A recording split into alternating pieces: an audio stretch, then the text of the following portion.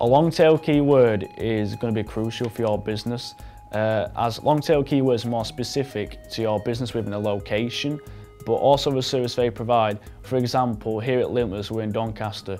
Rather than having, say, web design, need to, we need to put web design Doncaster. This is more specific to what you're doing, but it's more specific to the location you're in as well, which will help your brand awareness.